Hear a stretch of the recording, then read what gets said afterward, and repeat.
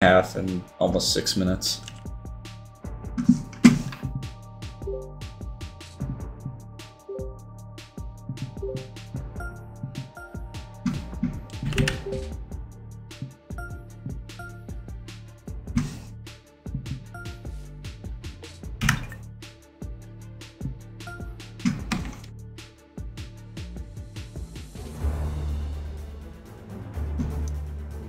That's why I picked Thieves Landing is because it's the fastest course. Sports, in association with the PGA Tour, is From the list of courses that you are allowed to swap out. For the FedEx Cup. Today's coverage of the Knot Championship is about to begin. What is Luke Elvey here alongside Major Championship winner Rich Beem and Beamer. Great day ahead here. putting it in the bunker is we have in arguably front of us. faster on that uh, hole. Hopefully, the golf is just as glorious as the weather conditions. Not that I'm trying to, but Second shot on the second. Oh, absolutely flushed. That wasn't your best effort, was it? And now that finds him in first place. Looks like this one's heading safely for the fairway. Playing from around 240 yards. All right, going with a little bit more club. Let's see. Yeah, that looked to be a bit of a misread. And that putt will drop, and he'll extend his lead. Trying to make a statement early and often. Now that looked pretty good the whole way. Well, it's a bit disappointing. And still in top spot after that hole. Keep it going. Oh, that's a high caliber shot.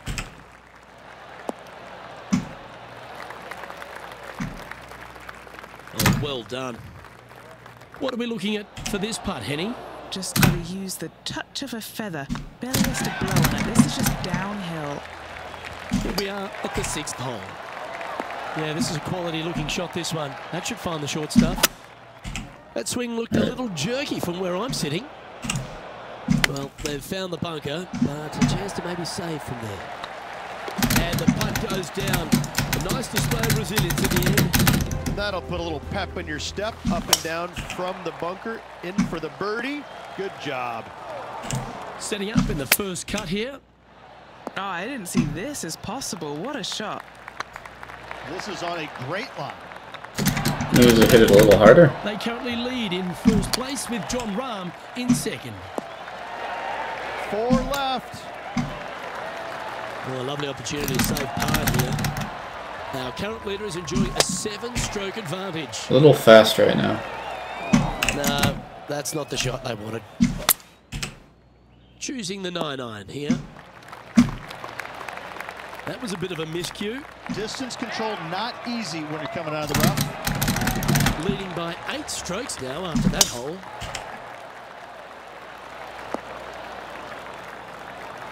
Well, I've got to admit, Rich, this player wasn't even on my radar at the beginning of this event. Probably not on anybody's radar. Kind of coming out of nowhere, but that's what makes this game so great, isn't it? Everybody loves a Cinderella story. A wonderful shot. A chance for birdie here on the 11th. Could have had back-to-back In the lead now after that hole. This is quite an astonishing performance by our leader. Their advantage now out to double. Hey, thanks. I'm not sure if the chase back is Thanks for enough to watching. This is a, a pretty odd thing to do, so I, I really appreciate when anyone stops by. So a long putt in front of them. Currently at three under for the day. And I don't give the rest of the field much hope today. Our leader is way out in front in this final round. And that's their fourth birdie of the day. And with that, they'll move to four under par. As we head now to the par five next. That should find the sand. Hmm. I might need to get a lesson of you. That was well played. Not bad. Henni, you've had the chance to have a look over this one? He's looking at around 14 foot, I'd say. Looking for another birdie here. That should find the fairway. What kind of shot are they facing here, Henni? He is right on the 150 yard marker here. Tell you what, got their rhythm going there. That's another green in red. Another green in regulation. This is an absolute clinic. Time to play from the bunker.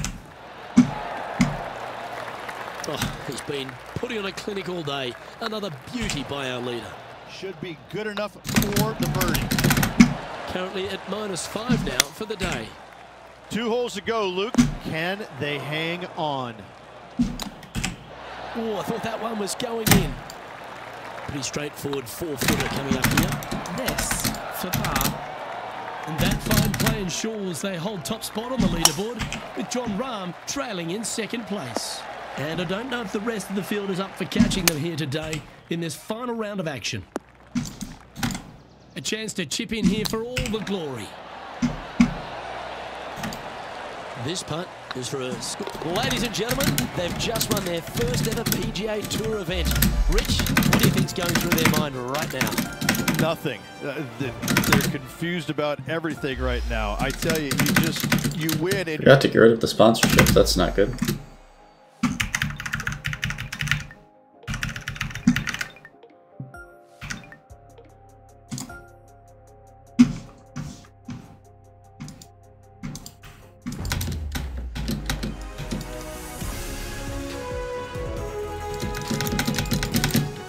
Sports, in association with the PGA Tour, is delighted to bring you the first stop of the FedEx Cup playoffs. Today's coverage of the FedEx St. Jude Championship is about to begin. Welcome to Memphis, Tennessee. We're at TPC Southwind. I'm Luke Elvey alongside Rich Beem. And Rich, as soon as you step foot on this property, and particularly this opening hole, you know what you're up against. It's a brute. Just 434 yards, par four for the back tees, but don't let that fool you. It's a tee shot that's back up the hill and generally back into the wind. It lines you up That was close. to the left, but the left-hand side is the biggest no-no. Bogeys and double bogeys made a bound from over there.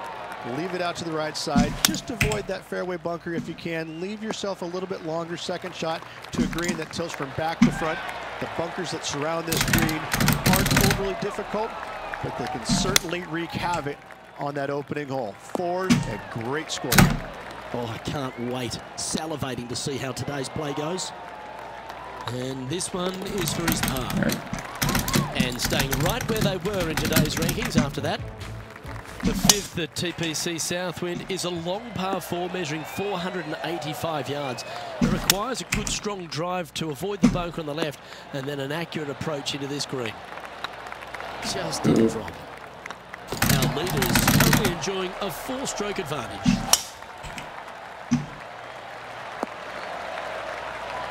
Good shot there, Beamer. Chosen the pitching range here. Well played, mate. And he's down there. You got a read? Straight back up this hill. The seventh at TPC Southwind's a strong par four measuring 482 yards from the back tee.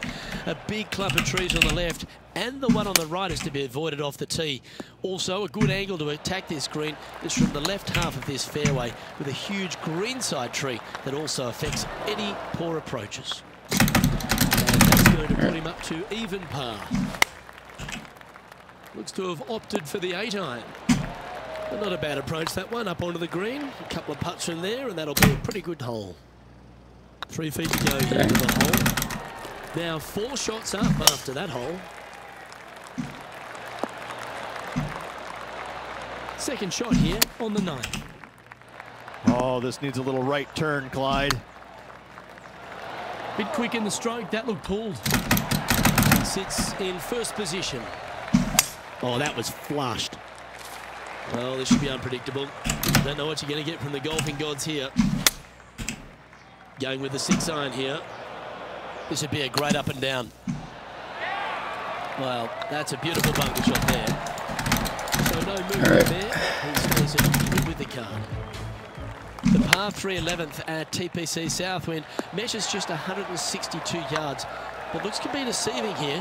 While it looks pretty, it can bite you. Make sure you've got enough club here on approach.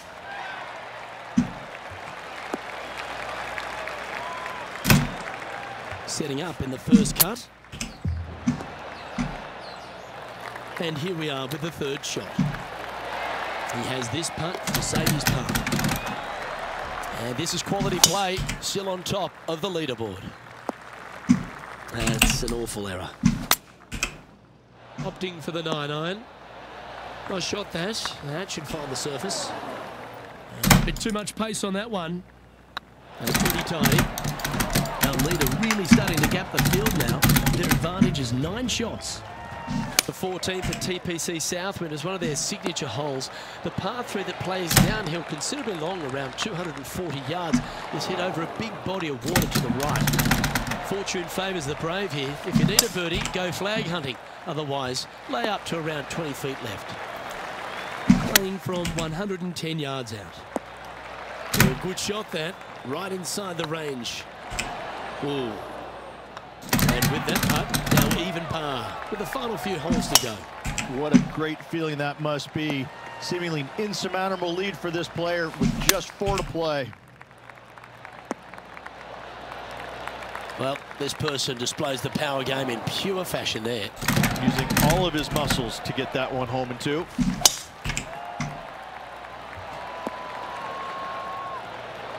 Yeah, you hit a beauty, didn't you? They've decided to club up.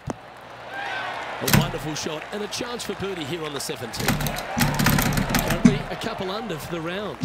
This is quite an astonishing Yeah, performance that's by our not leader. good. Their advantage now up to double digits. I'm not sure if the chase back is good enough to catch them. Uh, I did push it, but it still wasn't enough. And here we are with their four. Wow, did this come out beautifully? Oh, they're going to walk this one in. Alright, Well, uh, I have survived. Wonderful victory, Rich. If one is good, two is twice as nice, isn't it? Two wins on the season for this player. Awesome stuff. Well, if you want to go and win the FedEx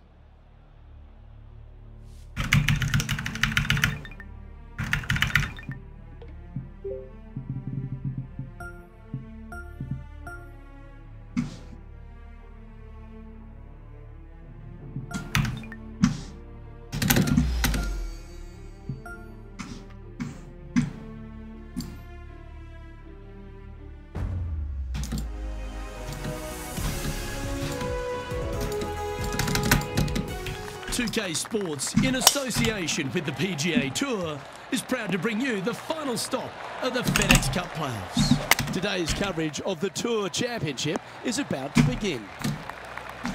Luke Elvey here alongside Rich Beem as we kick off this Tour Championship. And Rich, this player performed well enough all season to be rewarded with a modest amount of starting strokes. What are you thinking about their chances here today? They've got lots of work to make up, but still, there's plenty of time to do it, and I'm excited to see what they can produce throughout the week. No, I can't wait. Let's get back down to the coverage.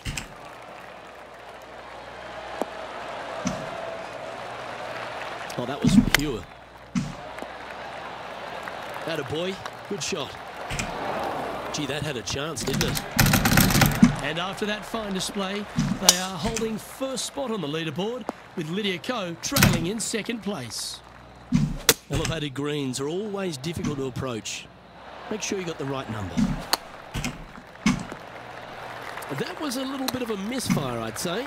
Missing it short there, they will definitely be upset. Yeah, that was no good. Looking ahead, this player is currently tied for first in the field, alongside Xander Schauffele.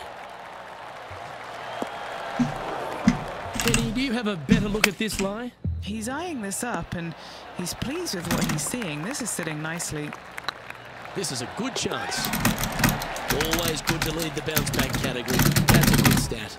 And that will take him to one under. That's nicely done. This one's heading left, I think. Getting ready to play their third. He leads the field by a stroke. Didn't quite have the right stuff there. Leading by a couple after that hole. Alright. And he's down there. Setting up here from about 145 yards. That, please. Oh, what a lovely shot. He'll be delighted to be inside the range there. That's a great attempt from long range. So close. We've reached the eighth hole. The tee is yours. What's in front of them there, Henni? He's looking at perhaps 175, I'd say. And here we are with the third shot. an opportunity to make a par here. It looks like he pushed that one. And after that performance, they'll stay right where they are in the standings. Ah, that one's heading out to the right. This would be a great up and down. Getting ready to play their third. Call that a fast And bogey. with that hole finished, they're currently in the lead. With Yeah. Brooke Henderson following in second. All this rough looks to be lush and thick, doesn't it? Sitting at plus one, currently in the lead. This putt for par here. One week picks too many, I think. And still in top spot after that hole. Keep it going. This one looks to be bunker bound, Rich. Not good. What's in front of them, Henni? This one's 13 feet from the cup. Our leader is enjoying a three-stroke advantage. Now, great rhythm on that swing. Second shot here on the 12th. There's this one to kick right. Now, that's a common fault in putting. Pulled it slightly. Leading by three strokes now. Oh my, Ew, where's didn't this wanna one do going, that. Henni? This is going to the pine straw. It's not too bad in there. Oh, he's caught up in some branches there. Yep, solid connection. This is looking good. Yeah, not a bad effort, that one. Up onto the green, got a chance to hold it. How does that save time? So no change on the leaderboard for this player after that hole. That one's heading down Broadway. Luke, that did not end up where you said it was going to. It's in the rough. And a par putt awaits him. Yeah, that putt looked pushed. He's currently sitting in first place. Looks to be going with the four iron. Ah, that always looked wet, didn't it? And here we are with the third shot. Wow, what a shot. Alright, hated that I put it in the water there. That's uh, glimpse at the leaderboard now, and this player holds the lead. just a massive time loss. Trailing in second place. Three holes remaining, folks. Hang on to your hats. This is going to be a wild and woolly finish. Found the green side bunker. Looking for an up and down here. This putt of about seven feet to the hole. This is what they had left for par. And maintaining top spot on the leaderboard. After that, Two holes to go, Luke. Can they hang on? Let's find out. come on, get down. That's a well-played chip shot there. Eyeballing that one, trying to make it.